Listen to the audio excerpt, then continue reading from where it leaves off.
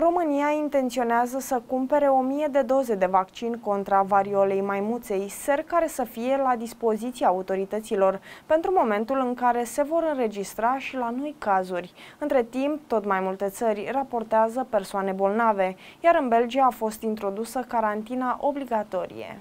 Belgia este prima țară din lume care a introdus carantina obligatorie pentru persoanele cu variola maimuței. Autoritățile au decis ca bolnavii să stea în carantină 21 de zile. Potrivit autorităților sanitare belgiene, cei care au luat contact cu pacienții infectați cu variola maimuței nu trebuie să se autoizoleze, dar ar trebui să rămână vigilenți, mai ales dacă au intrat în contact cu persoane vulnerabile. Belgia a raportat până în prezent patru cazuri cazuri de variola maimuței în doar o săptămână. Până acum, peste 100 de cazuri au fost confirmate și în Marea Britanie, Spania, Portugalia, Germania, Belgia, Franța, Olanda, Italia, Suedia, Israel, Elveția, SUA, Canada și Australia. Primul caz suspect de variola maimuței din Grecia s-a infirmat între timp. Pacientul, care este un român stabilit în Marea Britanie, are de fapt varicelă. El se află în vacanță și a fost internat în spital după ce pe corp i-au apărut erupții asemănătoare celor provocate de variola maimuței, iar suspiciunile au fost legate de această boală.